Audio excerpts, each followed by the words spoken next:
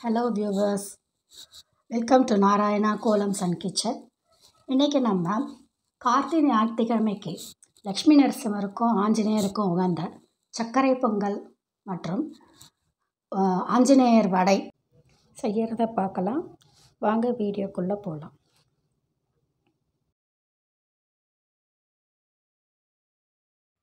ஒரு கப் பச்சரிசிக்கு அரை கப்பு வந்து பாசிப்பருப்பு. இதுக்கு நாலு டம்ளர் அதை எடுத்த அதே அளவால் தண்ணி. ஒன்று ரெண்டு மூணு நாலு. தண்ணி ஊற்றிட்டு நல்லா ஒரு நாலஞ்சு விசில் அஞ்சு ஆறு விசில் கூட வர நல்லா குழைய இருக்கணும் எடுத்துட்டு நல்லா கிளறி விடுங்க. வெந்நீர் வந்து சேர்த்து கொஞ்சம் கெட்டியாக இருந்ததுன்னா நல்லா கிளறி கூழாட்டம் ஆக்கிக்கோங்க. இப்போது அடுப்பில் வானிலை போட்டு ஒரு ரெண்டு ஸ்பூன் நெய் போட்டுக்கோங்க. போட்டு முந்திரி திராட்சை நான் ஜாதி பத்திரி இது. அப்புறம் முந்திரி ரெண்டு நல்லா செவக்க வறுத்துண்டு எடுத்து வச்சுக்கோங்க. இப்போது எதால் இழந்தேலோ அதாலே ஒன்றரை கப்பு வந்து வெல்லம்.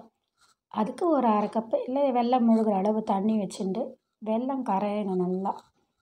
வெல்லம் நல்லா கரைஞ்சதும் இப்போ நம்ம வந்து இந்த சாத்தை வந்து நம்ம இதில் எடுத்து போட்டு குக்கரில் நல்லா கழிச்சு வச்சோம் இல்லையா?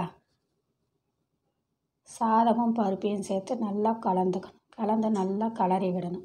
இப்போ இதில் இன்னும் கொஞ்சம் நெய்யை சேர்த்து இன்னும் நல்லா கலருக்கணும் நல்லா எல்லாம் மிக்ஸ் ஆகி வரணும். அது வரைக்கும் நல்லா எல்லாம் நல்லா கலந்து விட்டுட்டு நம்ம வறுத்து வச்சுருந்த முந்திரி திராட்சை அப்புறம் இன்னும் கொஞ்சம் நெய் சேர்த்து நல்லா கிளறணும்.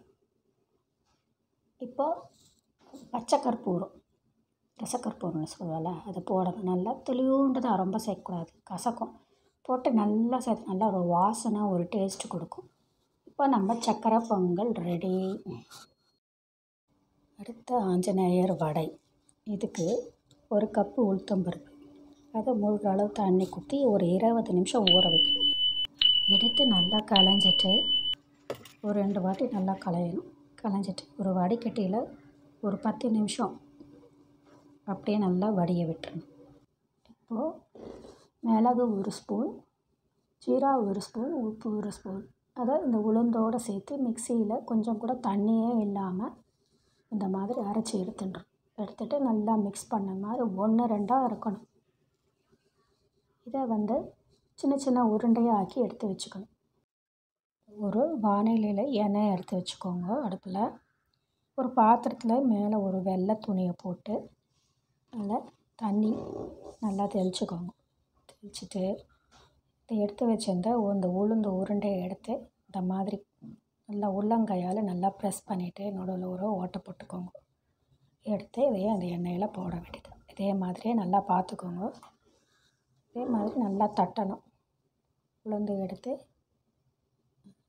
ஒட்டாமல் அப்படியே வரும் அழகாக இது என்ன பண்ணணும்? ஒரு பக்கம் மட்டும் வேக வச்சு எடுத்துக்கணும்.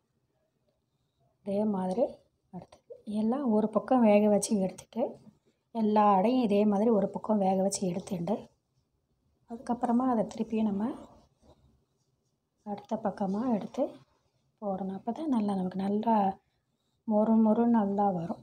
தீயாமல் அதுவும் இருக்கும். டேஸ்ட்டும் நல்லா இருக்கும். இதே மாதிரி நல்லா அதோடைய கலர் அழகாக வரும். இந்த சத்தம் அடங்கும். அப்போ எடுத்து வச்சுட்டேன்னா அவ்வளோதான் எடுத்து அழகாக ஒரு நூலில் பெருமாளுக்கு அழகாக வடையை கோத்து மாலையாக்கி. பெருமாளுக்கு அழகாக நம்ம சாத்திடலாம். நம்மளுடைய ஆஞ்சநேயர் வடையும் சக்கரை பொங்கலும் ரெடி. ஒரு துளசி இலையை சேர்த்து பெருமாளுக்கு சேர்த்து. தேங்க்யூ ஃபார் வாட்சிங் and do subscribe and comment and description பாக்ஸில் டீட்டெயில்ஸ் பாருங்கள் தேங்க்யூ